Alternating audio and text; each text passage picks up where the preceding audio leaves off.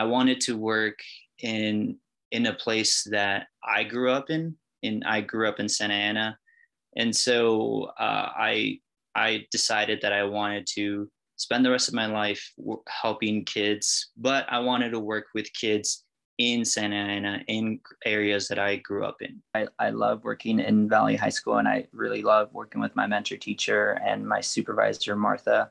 Uh, I feel very supported uh, ever since day one in the classroom.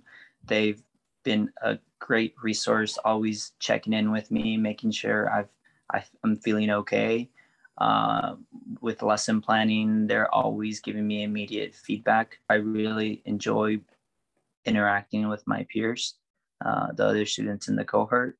I felt like I feel like we've uh, we've gone through this together. We've made great friendships. There's been times where we meet up, and get coffee, and work on our on our academics.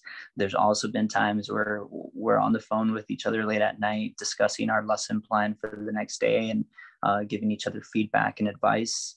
Um, and yeah, just meeting different people have different perspectives, different backgrounds, and us coming together and coming together to a, a safe space, knowing that uh, we won't be judged and we can speak our truths.